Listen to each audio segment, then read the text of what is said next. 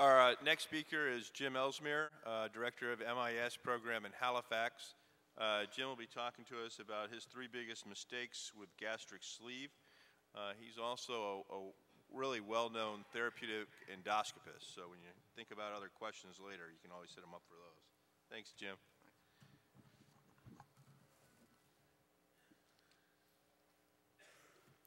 Uh, thanks for the opportunity to speak. Done some consulting with Ethicon. Uh, sleeve gastrectomy, as uh, you're all aware, and it was just nicely demonstrated, involves resecting the greater curve of the stomach. It was uh, first used in the uh, stage approach uh, for super obesity, but what we've all seen increasingly is being used as a primary procedure. I do sleeve as uh, the lion's share of my practice, and I'm always impressed every time I get together with my colleagues that more and more are adopting similar strategies. The uh, advantages of a sleeve gastrectomy, this is what drives a lot of the patient choice, is the fact that we know there's a lot of prospective data now showing that uh, morbidity is low, the mortality rates are low, the, uh, the weight loss uh, is effective, uh, particularly in the short and midterm. Still some questions about the longer term um, weight loss in terms of durability. The uh, resolution we've seen has been excellent. So you see resolution of the metabolic syndrome with the sleeve. Uh, Dan mentioned that I do a fair amount of endoscopy, and so you know, cutting the route to the papilla is a bad idea if you make your living doing ERCP. So it's a, it allows uh, postoperative ERCP as well as uh, gastroscopy. Uh, the operation itself is uh, easily revised and uh, converted. And, uh, and one of the very nice features, of course, is long term. You don't see the marginal ulceration, internal hernia that we just heard about, as well as the nutritional deficiencies that we've heard about. The uh, disadvantages, of course, with the operation is that uh, leaks, though rare when they do occur, uh, can be challenging to manage. The long-term follow-up data is uh, still emerging, and uh, the focus of this uh, discussion today is the issue that we're seeing that sleeve itself can exacerbate gastroesophageal reflux. And so really the objectives for this session specifically is to focus on um, morbid obesity and gastroesophageal reflux, discuss the effect of a sleeve gastrectomy on, sleeve, uh, on gastroesophageal reflux, and then should this occur in your patients who have a sleeve gastrectomy, discuss the strategy for uh, managing uh, that particular problem. Now we know that uh, GERD and uh, morbid obesity go hand in hand. There's a very strong association with uh, body mass index. GERD occurs in approximately 50% of patients who are morbidly obese. Um, now, if you just drill down on the symptomatic hiatal hernia patients, that's probably about 15% of the, the, morbidly obese patients. And so the main cause of uh, GERD within the morbid obese population is the increased intra-abdominal pressures that's uh, combined with uh, transient relaxation of the uh, lower esophageal uh, sphincter itself. Uh, we know within the morbidly obese that the most effective treatment uh, for gastroesophageal reflux is bariatric surgery.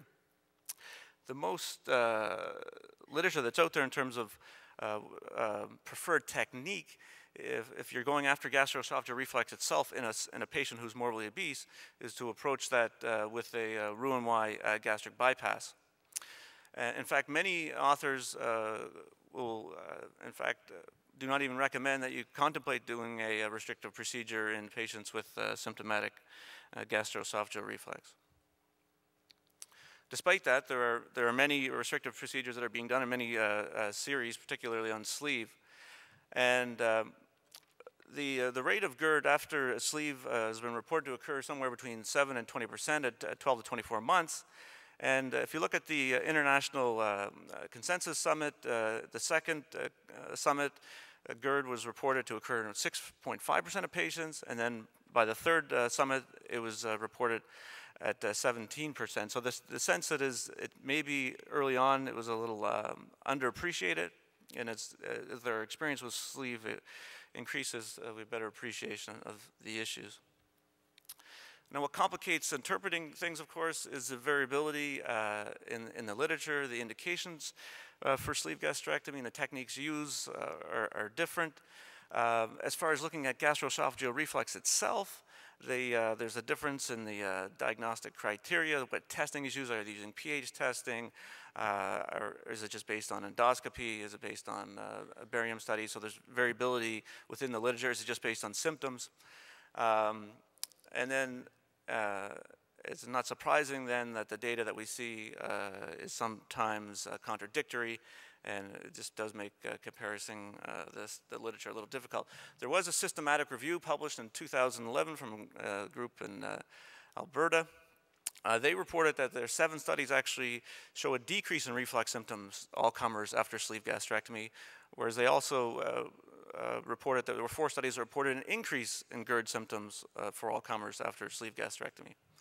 And then there was also this temporal appreciation as, as, well as that kind of most studies said we saw an increase in reflux during the first year post-sleeve gastrectomy, but then following that you see a decrease uh, in the third postoperative year. Now what's interesting now is as more longer-term data is emerging, there's a sense that this is almost like a, uh, this curve starts to swing back up uh, with, with, with time, basically, that you're seeing increase in reflux uh, further out. If you look at it from a uh, mechanical, uh, biological point of view, there are factors that, uh, with the sleeve gastrectomy that actually decrease gastroesophageal reflux. That is, there's a reduced acid production. There's a, we know there's well-documented accelerated gastric emptying. And then, of course, the, a major contributor is the reduced intra-abdominal pressure due to decreased uh, body weight. But there's also technical factors that increase gastroesophageal reflux. So the, the shape of the sleeve itself can contribute to, to reflux. There's increased interluminal pressure. The stomach itself is stiffer, so the lack of gastric compliance can lead to uh, gastroesophageal reflux. And then some emerging literature on, on the notion that uh, the sling fibers around the GE junction that are disrupted with the sleeve gastrectomy can actually lead to decreased lower esophageal sphincter uh, pressure. Very nice series published in Obesity Surgery 2012 looking at uh, uh a 10-year experience with sleeve gastrectomy and pointing out what uh, the authors considered are the uh, salient technical uh, considerations when doing a sleeve gastrectomy, specifically with regards to gastroesophageal reflux. Uh, the, if there's a persistent, persistent hiatal hernia, that can lead to uh, worsening symptoms. Uh, if a patient has a patulous cardia, that's something to be considered. Uh, a very important consideration is a relative narrowing of the junction of the vertical and the horizontal portion of the sleeve. So not only just a narrowing of that area, but even potentially a twist in that area uh, can lead uh, to uh, uh, reflexant to be considered. And then patients who subsequently develop a dilated fundus or are left with a dilated fundus, potentially, again, at higher risk. if GERD uh, presents after sleeve gastrectomy. It is a fairly classical presentation with uh, symptoms of uh, burning pain, heartburn, regurgitation. As uh, mentioned previously, this could be early or a late complication. And the first line treatment, and the treatment that works in the lion's share of patients, uh, is anti-reflux medical uh, therapy. However, um, there are patients, as we know, that uh, medical therapy is not adequate for their gastroesophageal reflux. And so those patients where you get in a situation, should you consider a revision? Should you consider a conversion to something else? Well, uh, if there's clear anatomical problem, if there's a stomal stenosis, or if there's a hiatal hernia, then uh, revising is, a, is, a, is an option. Um, however, uh, most authors would recommend at this particular junction, given the, the the, the benefits when it comes to specifically to reflux with a, with a Roux-Y gastric bypass that consider, consideration for a conversion is given, uh, which can be performed with uh, excellent results.